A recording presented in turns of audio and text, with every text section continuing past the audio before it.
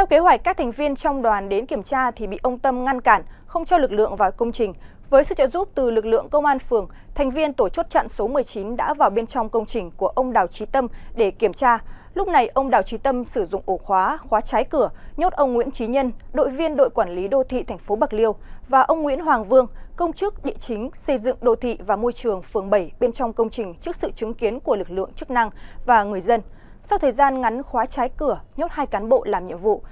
Khi công an phường quyết liệt can thiệp, ông Tâm mới mở cửa cho hai người này ra ngoài. Tối cùng ngày, cơ quan chức năng thành phố Bạc Liêu đã niêm phong căn nhà xây dựng không phép của ông Tâm, xét thấy có dấu hiệu vi phạm chống đối người thi hành công vụ, giam giữ người trái pháp luật của ông Đào trí Tâm là rất nghiêm trọng, ảnh hưởng lớn đến việc thi hành công vụ của lực lượng chức năng và chính quyền địa phương. Chính vì vậy, Ủy ban nhân dân phường 7 đã kiến nghị thường trực thành ủy, Ủy ban nhân dân thành phố chỉ đạo cơ quan công an điều tra làm rõ dấu hiệu vi phạm đối với người thi hành công vụ, giam giữ người trái pháp luật của ông Đào Chí Tâm để xử lý nghiêm theo quy định của pháp luật.